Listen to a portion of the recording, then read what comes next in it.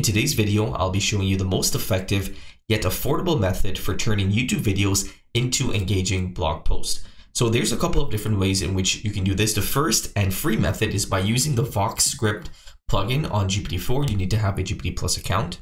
Then copy any YouTube video in which you would like to turn into a blog post.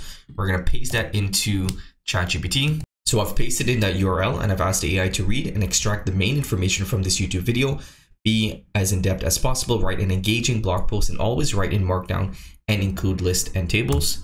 So let's go ahead and run this. And the VoxScript plugin should work. It should be able to read that content from the YouTube video and then write us a blog post. But as you can see here, we are able to get a pretty decent output. So increase your website domain authority with ChatGPT, key strategies, identifying suitable websites for backlinking. So it's going over all of the strategies and all the things in which we included within that YouTube video. So you are still able to get a pretty decent output using the plugin mode on ChatGPT. As it's continuing to write the content, we can see here that it's fetching the content chunk by chunk. So it's reading the transcript in part rather than a full transcript and then giving us or, or converting that transcript into a blog post. So I'm actually very impressed by this output. It's a lot longer than I thought that it would be and it's definitely um, been able to extract the main tenets of that YouTube video and transcribe it into a engaging blog post. So this would definitely be the most affordable way for you to turn YouTube videos into blog posts. So let's go over this quickly again. So the content has completed and here is the output. Increase your website domain authority with ChatGPT. Key strategies, identifying suitable websites for backlinking, guest posting, guest posting again, tailoring your content, submitting your guest posts, generating high quality blog post topics, approaching websites for guest posting and extracting writing style, writing your guest post and so on. Overall, it's done a pretty good job at extracting the main components of this YouTube video. We are able to understand what the YouTube video is about and it's able to extract the main points and put it into a blog post. Now, the second method to turning YouTube videos into engaging blog posts is by copying over the transcript and I am using a plugin, it's called Glasp. So this allows you to get a YouTube summary or you can just copy over the full um, transcript in plain text.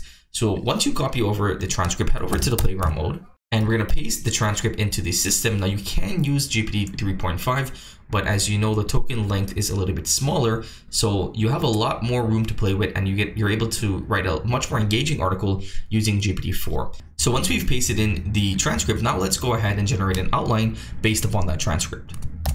I've decreased the temperature just a tad, increased the frequency penalty and the presence penalty, and the prompt that I'm using is based on this YouTube transcript create an in-depth and engaging blog post outline write in Markdown and be as exhaustive as possible and include all of the info from the YouTube script. Create the outline first because sometimes it just goes ahead and writes the whole article.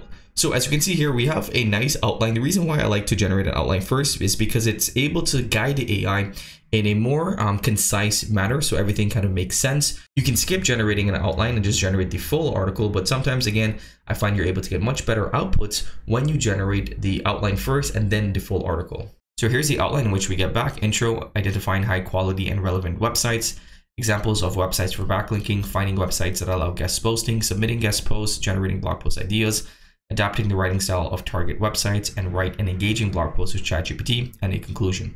So we can see a difference right here between this outline than the first outline that we generated because this just seems more um, more aligned with what the YouTube video was about and um, it, we're able to get much more better sub points for those specific um, outlines compared to just the content that we got back from um, the ChatGPT plugin. So let's go ahead and generate the full article. It did start writing the article, but I stopped it because I want to give it a new prompt to write the full article. So the prompt is now using the outline above and the transcript provided, write a full in-depth article on the blog post topic, be as in-depth as possible, write useful, and long and relevant paragraphs and always include tables and lists and always write in Markdown. So as we can see here, the content is starting to write. It's writing a nice list. It's following that outline and seems like it's going in the right direction. So once it's finished, we'll come back, we'll check it out and we'll compare this output to the original output that we got from using the VoxScript plugin. The full article has finished uh, generating. So let's go ahead and do a quick word count. So this is about 700 words. The content that we got back from VoxScript was a lot longer. This is about 1500 words. Again, very impressed by the output length that we're able to get back using VoxScript, especially uh, without having to do any further prompting. We just asked it one time to create a YouTube video um, blog post for us and it was able to do so. So in terms of length, I would definitely go with the VoxScript um, plugin. But in terms of quality, if you really take a look at this and read through content, we can see that um, we're able to get different websites that we listed within that video. We're able to get more in-depth information from that YouTube video in this blog post compared to what we're able to get back from VoxScript. While using the playground mode, the content is a lot shorter, but of course we have the ability to expand it, but that would cost us some tokens because we have a lot of content within the transcript. Let's go ahead and quickly take a look to see how much this blog post costed us. So this article in the playground mode costed us about 18 cents. And if you probably were to expand it, that could be 20 to 25 cents just for that article. So that can be a little bit more expensive when we look at the other um, models, especially GPT 3.5. So it is a little bit more costly when using the playground mode and the content is a little bit shorter, but the quality in my opinion is a little bit better.